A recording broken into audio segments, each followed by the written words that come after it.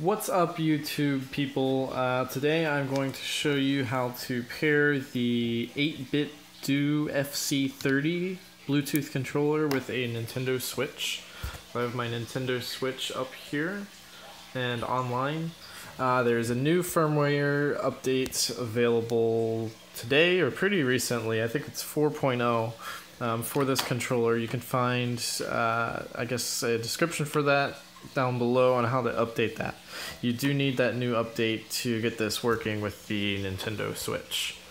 Um, so right now I have the Joy-Cons paired to the Switch um, and they're up and working. So what we're going to do is go over to controllers, select that guy, uh, and we're going to select change grip and order there.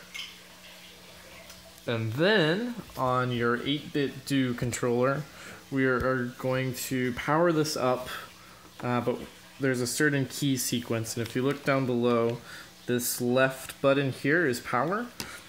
Um, we're going to hit power and Y, this leftmost uh, button here, and hold those for about a second.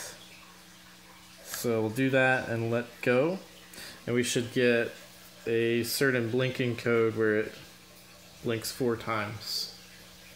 Um, so once that's done, and mine's are actually already paired, but normally right after that you would hold the pair button here on the right for two seconds and that'll pair. Uh, but mine has already found the switch and it's up and going.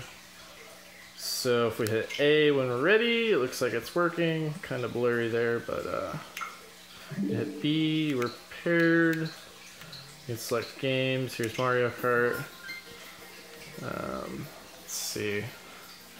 Kind of hard to do with one hand, but.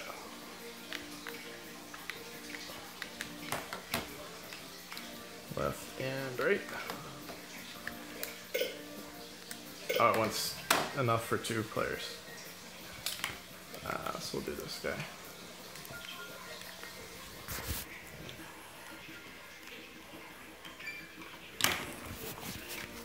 Alright, there we go. So I was in the middle of a game, so it just wanted two controllers, but uh, we're connected, it's working, all is up and going, so I hope that helped. Thanks guys.